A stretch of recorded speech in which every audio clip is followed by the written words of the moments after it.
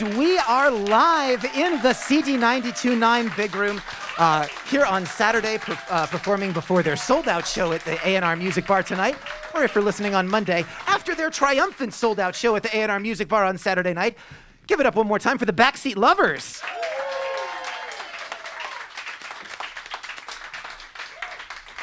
Guys, thank you so much for joining us. We're so happy to have you here. Uh, could we get started with a song? Of course.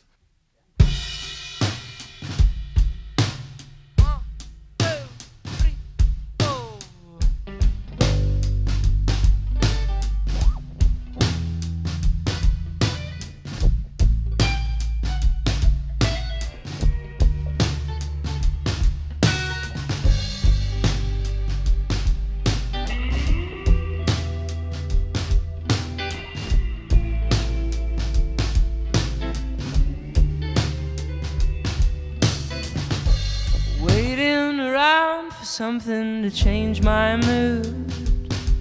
Cause I know that what's in these plastic cups isn't going to. Kids on the lawn, stuck in pairs of two. And your lunch is on its way back up, but you're still in the pool.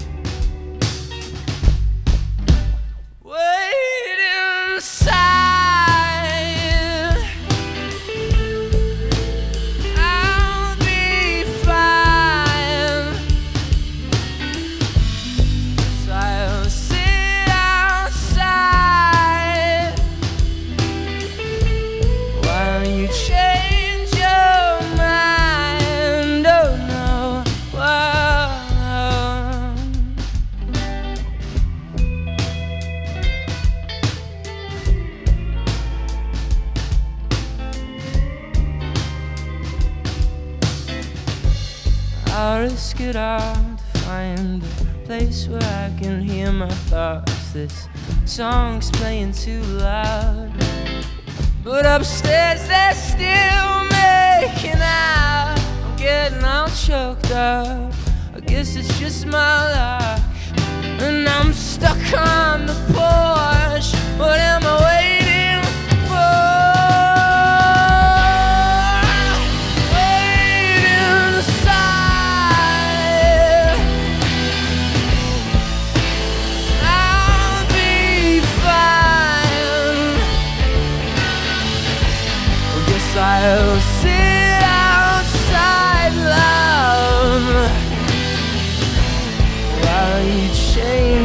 mind.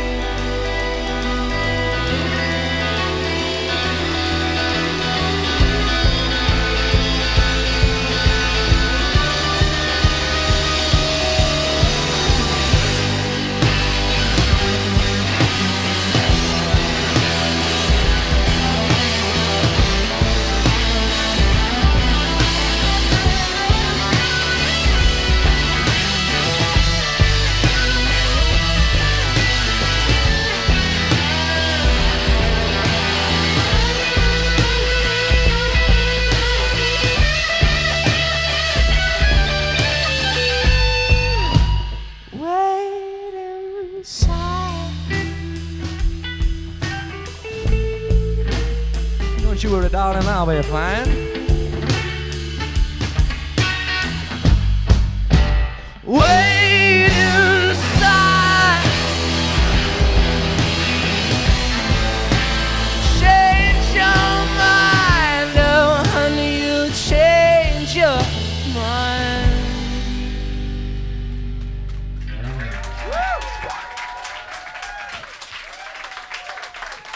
The Backseat Lovers here in the CD929 Big Room. Fantastic, folks. Please correct me if I'm wrong. That is a Pool House, which you can find on their terrific debut LP, When We Were Friends, which is out now. Yes, I have to say it's terrific because I'm interviewing them, but like legitimately, it's a great record. You should all check it out if you haven't yet. Uh, so, folks, so happy to have you here. Thank you so much for joining us. We might have seen you before. I know your your first, supposedly first North American tour got canceled last year, uh, but now, so I guess this is your first North American tour, and you got to play at Lollapalooza as part of that. Wow. Uh, how does one sign up for that on their first tour? But uh, tell us about that. What was that like playing at Lollapalooza? Um, it was, I don't know, I can't really even put it into words. It was a lot of, uh, you know, I don't know. In the in the weeks um, uh, coming up to it, we were we just had no idea what to expect. It was a whole lot of not knowing, um, but just like standing side stage and like getting ready and like feeling that many people collectively screaming is just I don't know. You can't really put it into words, but it was a really beautiful experience. There, everyone was really kind to us and. Um, yeah, it was very, very memorable. Good. I'm glad to hear that. And I, of course, I do have to ask, what would you say is a more impressive venue, Grant Park or the CD929 Big Room? Um, I'm feeling, I'm feeling this one is a very special, very special place. That was such a nice way to say something nice without lying. Thank you. Uh, all right, so if, if you guys don't mind, I'd like to go back and kind of talk a little bit about the origins of your band. Uh, my understanding is that you guys sort of started when Josh introduced himself to Juice and said, Do you want to form a band? Is that pretty much accurate? Yes. Okay, so Josh, what is it about Juice that, uh, you know, for me, that would be something that I would be really nervous to go up and ask somebody about that. So that must take a lot of courage. What was it about him uh, that made you want to do that in Juice? Why did you say yes? Um, well, it's actually funny. So, Ju- Juice is four years older than me. So he was like graduated out of high school as I was entering high school, Uh-huh.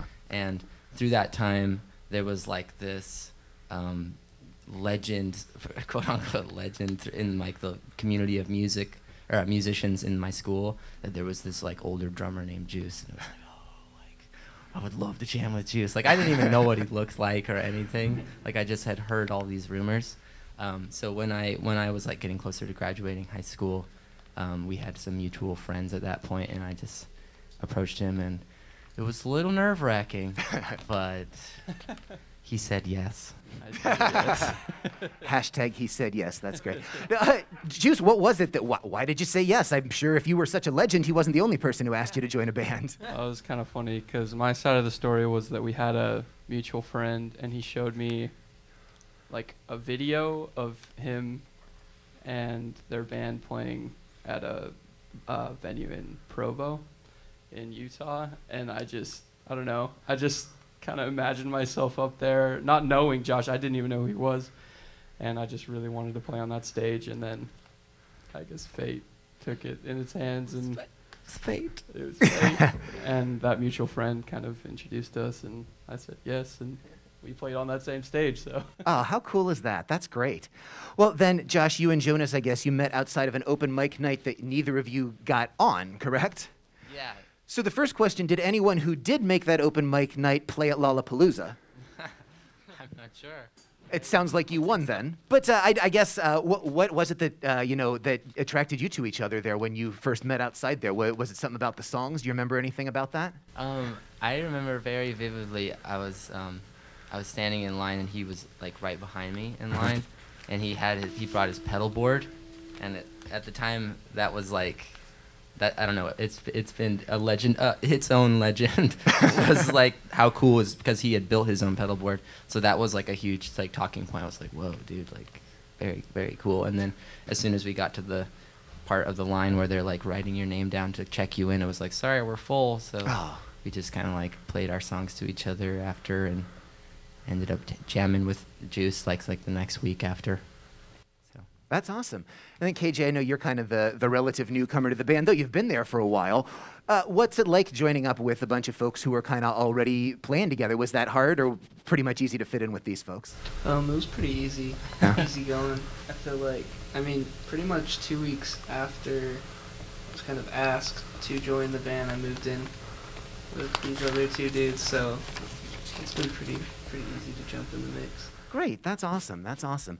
So when I look at uh, at the songwriting credits on your songs, there are a lot of names on there from a lot of you folks. How does that songwriting process work for you? Is it do you all come up with your own ideas? Do you work it out together? Uh, kind of a mixture?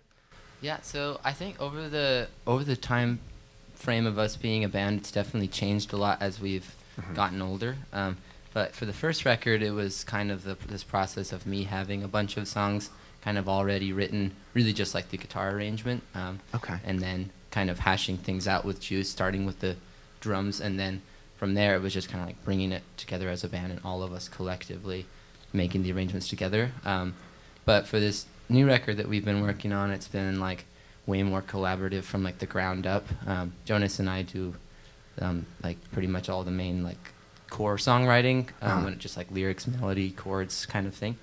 Um, and then once that gets to like a point where it's an actual song that's starting to take form, then we'll bring it to the band and it'll be that same kind of process of everybody kind of like throwing paint at it. but Right on. So I, I was, I definitely did want to talk about the differences between, you know, recording the first and second record, and you've kind of segued nicely into that. Uh, so obviously, I know um, from what I've read, you folks really kind of made the best of the not being able to tour situation to really be able to spend the time focusing on the record. How was it different having, you know, so much time to work on it this time around versus?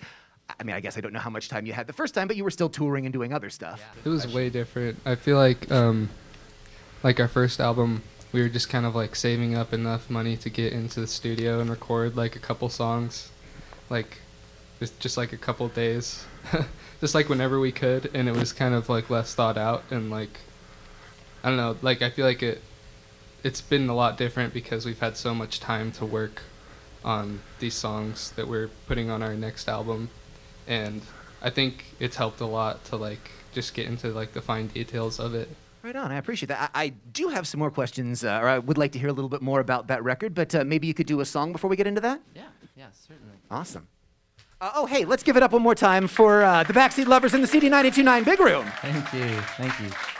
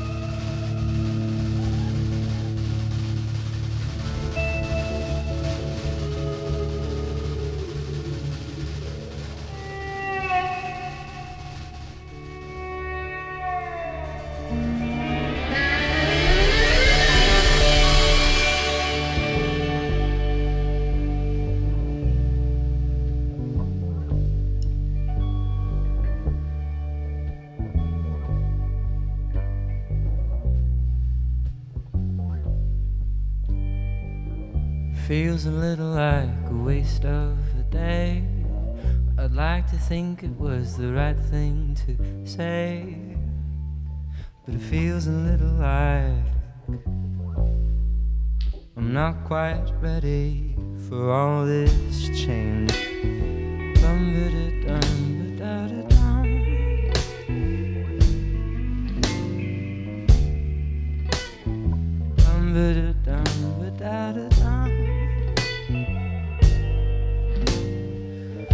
Lungs are screaming, could you give us a break? Keep on giving and giving and giving, and I'll take.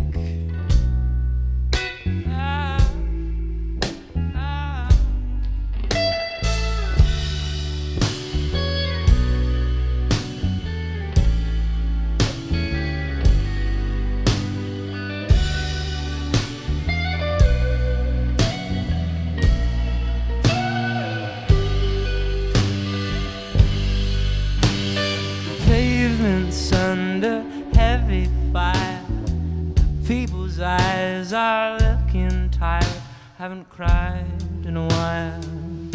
Maybe now's a good time.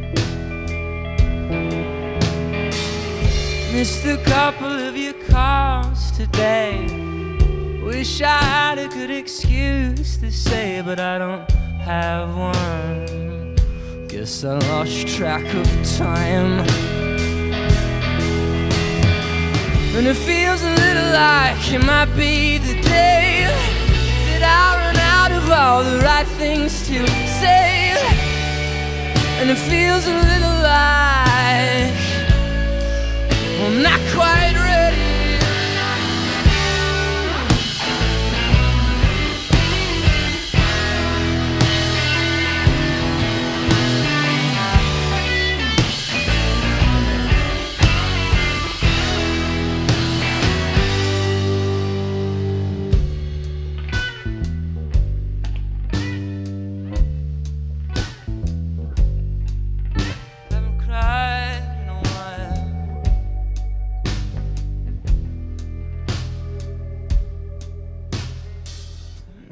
House begins to shake. I am tired of waiting for the walls to cave. I haven't cried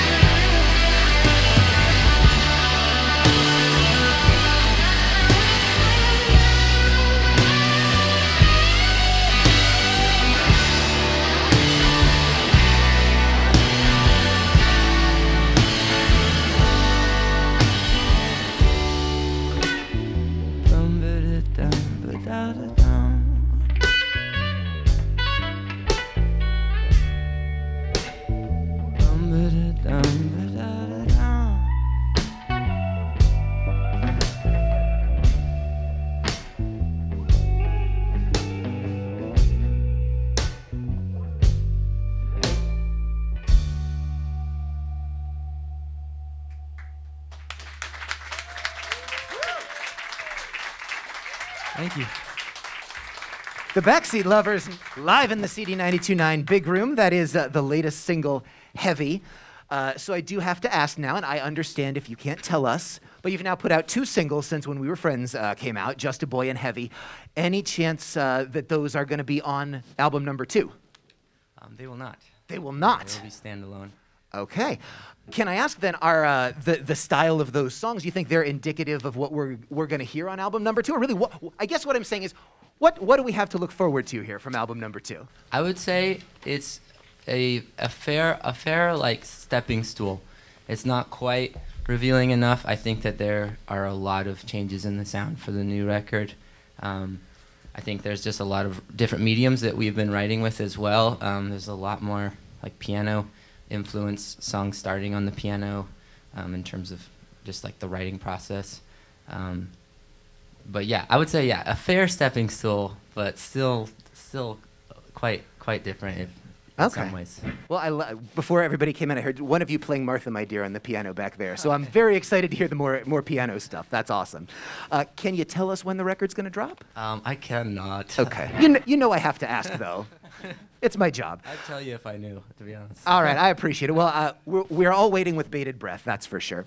Uh, so we've talked a bit before about uh, songwriting and you know how you all are songwriters, and uh, I, uh, well, I was going to say they're fun questions about songwriting. I wrote them, of course. I think they're fun, uh, but as songwriters, if you could have uh, a song that you've written be covered by any artist in history, living or dead, what's the song, what's the artist, and why? Wow, that's a great, great question.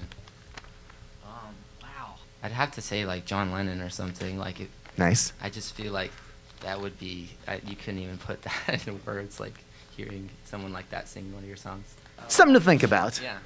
Um, would you uh, would you ever consider writing a song for another artist out there today, or do you pretty much write for your own, for yourself? I would definitely consider it. I feel like right now in what in just like where we're at as a band, like it wouldn't really be something that we'd be like super into just because we're so dialed in on what it is that we're doing right now. But Sure. I do think that that would be fun, especially like if it was like a an artist that we like respected a lot. I think that would be really cool.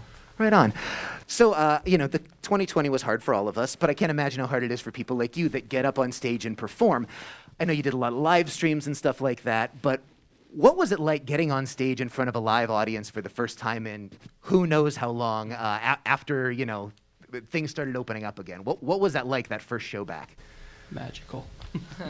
It really was quite magical. Like, It's a little bit of a shock too. Like it's it's like yeah, it's just so crazy to go from nothing for so long and then be playing like Yeah. almost every day. Cause I feel Kinda. I feel like being because we we played quite often through the pandemic. It was like most days of the week, and um, in in doing that, it was like never you never heard like another person commenting on what it was you're doing. It was all just us like very about like the songs and that's it. There's no like second barrier of like communication between fans like or cheering or anything like that. So just the feeling of like walking out on stage and like there being like an eruption of people and remembering that is just like very special. It, you forget how like important that is to the process. It's so cathartic and like important as a musician. Oh, I'm sure. Well, and, and, and you brought that up, you know, not having that feedback with all these new songs you're working on. Was there anything in particular that you came, maybe you debuted a new song and you were just absolutely blown away? You got feedback from the audience that you really didn't expect?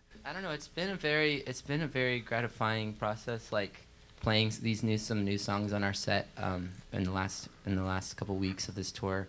Um, it's definitely it's kind of interesting because there's like a there's kind of a um, a pattern of people like singing along for the majority of the set, and then wh- when we play new songs, nobody knows the words, so it's like just kind of like silence. So it's kind it feels really there's like a really cool reverence that people have been showing, which we are very grateful for, and like it's cool to just like let let the song like be heard instead of like it being like a collective thing, I guess. So I don't know. I think it's been really special. It's been fun to share with with the fans. I'm glad to hear that. It says a lot about you guys and your fans that, you know, I think a lot of times, oh, the new music, that's time to go to the bathroom. Clearly not the case with you folks. I think that's great. Uh, so definitely want to hear another song, but I wonder if we could just do a real quick this or that rapid fire here before before we do that. Uh, Beatles or Stones? Beatles. Beatles. Beatles. You said John Lennon, so I assumed. Uh, dogs or cats? Dogs for me. Cats. Cats. Okay. Kinda Ooh. I I can't decide. I like both. Respect. Uh, M&M's or Skittles? Skittles. Skittles, yeah, Skittles. Okay. Wheel of Fortune or Jeopardy? Mm, Jeopardy. Jeopardy, recently. Yeah. Okay. Chocolate or peanut butter? Chocolate. Is a hot dog a sandwich? Um, no. No. Okay. And is cheesecake pie or cake? Um, Cheesecake is the best. You know what? That's a good enough answer. I'm set with that. it is the best. Yeah, that works. Uh, could you play us another song, folks? yes. absolutely. Appreciate you. Hey, let's give it up for the backseat lovers in the CD 929 Big Room. Thank you, guys. Ready?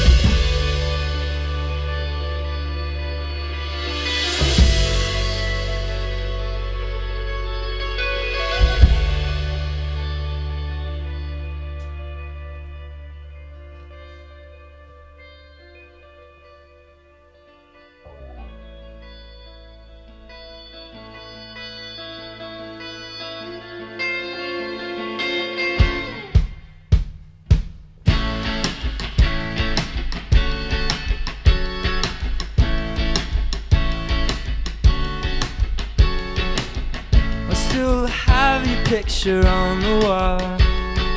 I still have the nightmares where I would have to call you to calm down.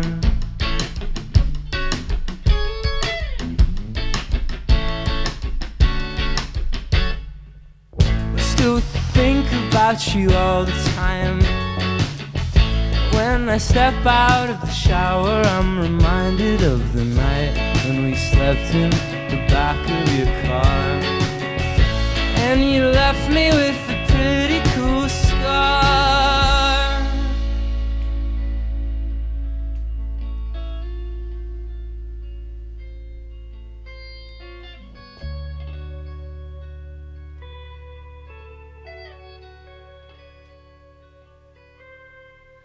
Did it hurt?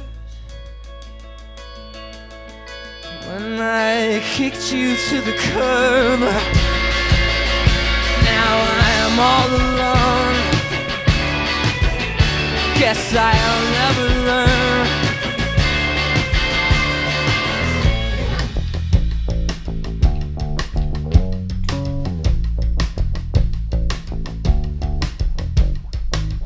Your purple sweater sitting in my room. I tried to wear it, but I knew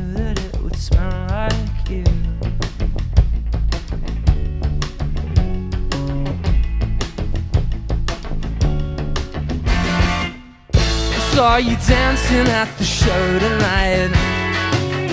I stood in the back, and I think that we both know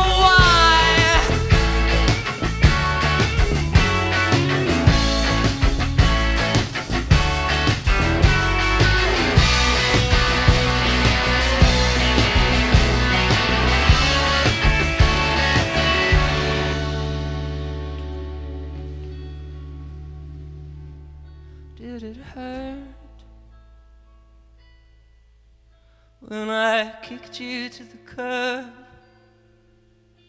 Now I'm all alone. Guess I'll never learn. And I lied when I took you on a drive. And I said I'd never speak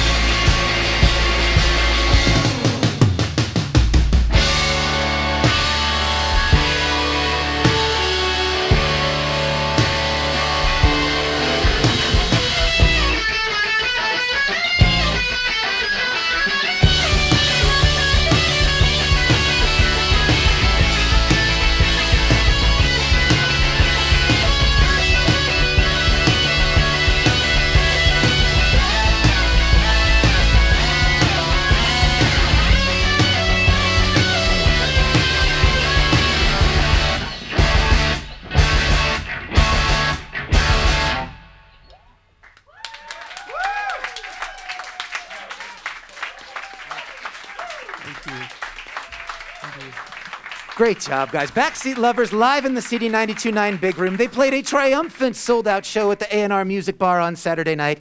The full-length When We Were Friends is out now, along with the singles Just a Boy and Heavy. Guys, thank you so much for stopping by. Let's give it up one more time for the Backseat Lovers. Thank Thanks for having us.